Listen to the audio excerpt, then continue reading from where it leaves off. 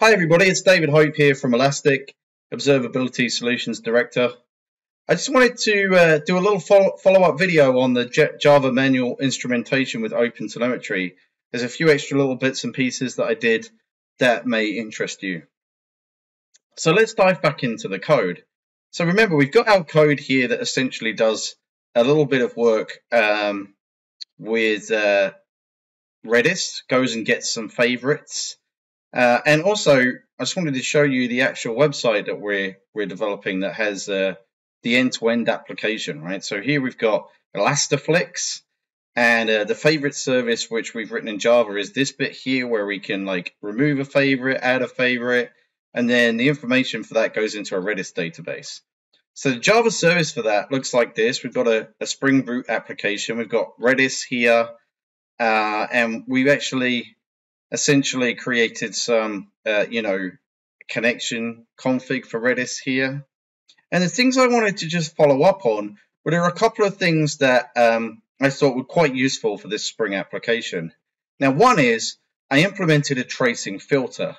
And what this does is, is that every time there's a request to the favorite service, we can actually strip out the information about uh, the uh, the span that might already be in the header for the request because the request might have come from a downstream service which is also using open telemetry.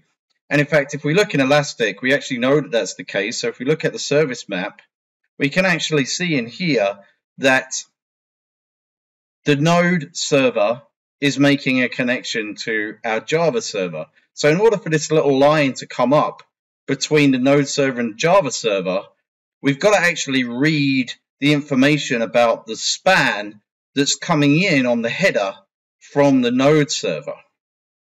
And so in order to do that, we implement this tracing filter. So like I said, what happens is every request to the favorite service goes through a filter, which is a common thing that you can do with Java in uh, servlet technology.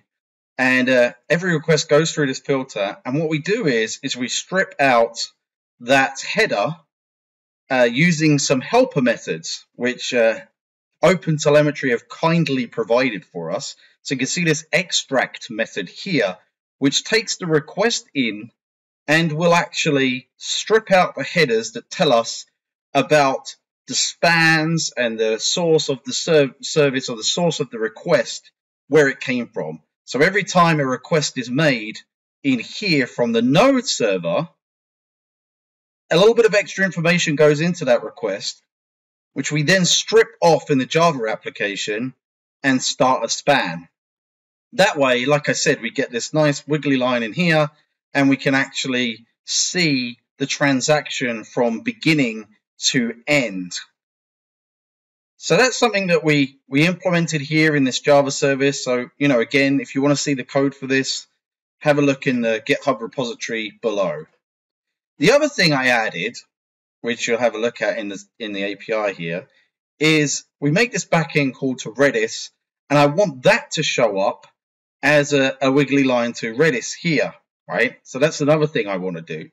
And so what I did was, was I separated out the Redis backend calls, and you can see here that what we do is, is we create a span just for that backend call, and then we can actually see how long it takes as well.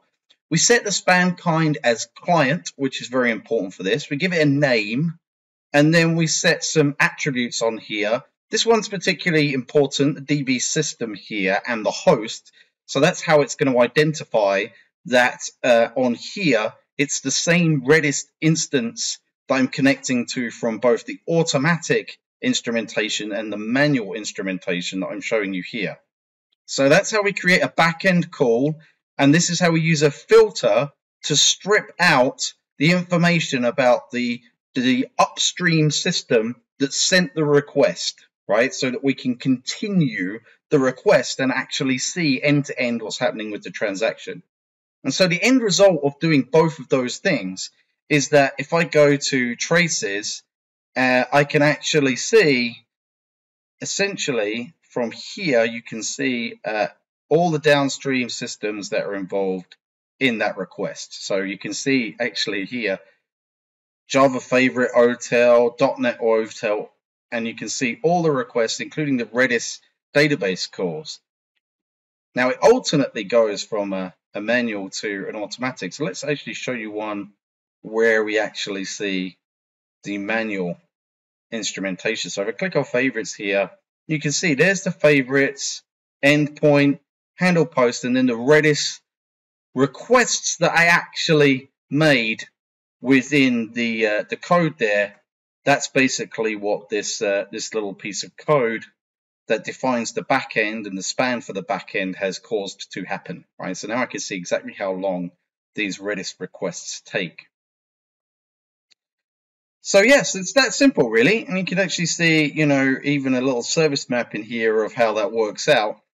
We can see the upstream call and we can go to the node server and things like that.